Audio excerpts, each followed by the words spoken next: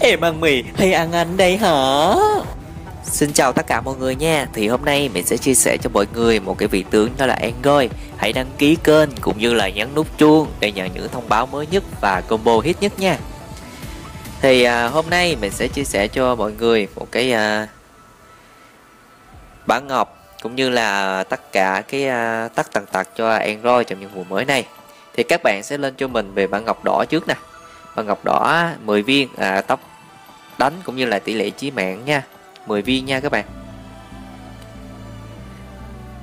Thì trong những cái mùa mới này thì à, coi à, sẽ làm được à, cái làm mới lại cũng như là à, sẽ dày đánh hơn nhưng mà cái à, sát thương nó sẽ à, được bị giảm.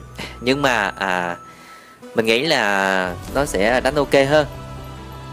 Khi mà nó dễ dàng à, đánh hơn và khi mà các bạn sử dụng cái à, chiêu 2 á à, bùa củi đó thì các bạn nên dùng cái đầu lạnh cũng như là à, đánh với à, đối đầu với à, Polentino á thì nên à, sử dụng à, chiêu 2 à, một cái thời gian nhất định nào đó cho nó phù hợp chứ đừng có à, bữa sớm á nha.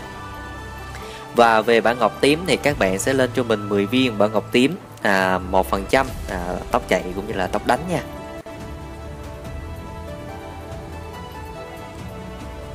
Và về bản ngọc lục thì các bạn sẽ lên cho mình công vật lý xuyên giáp 10 viên nha.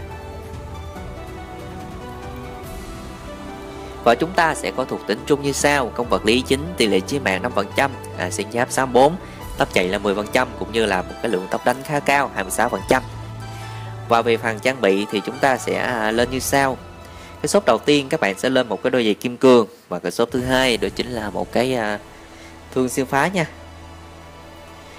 và cái shop thứ ba thì các bạn nên lên cho mình một cái uh, Heko à, thịnh nộ. Để nhận công vật lý như là một cái lượng giáp. Và cái shop thứ tư đó là phước hộp kiếm. À, có rất là nhiều công dụng. À, khi chúng ta lên phước hộp kiếm à, thì sẽ nhận được là công vật lý nè tốc đánh giảm hồi chiêu và một cái lượng máu tối đa là 600 và cái shop thứ năm đó là một cái nanh à, nanh phoenix nha.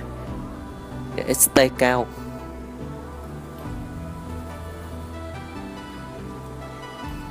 Và cuối cùng là một cái giáp màu mền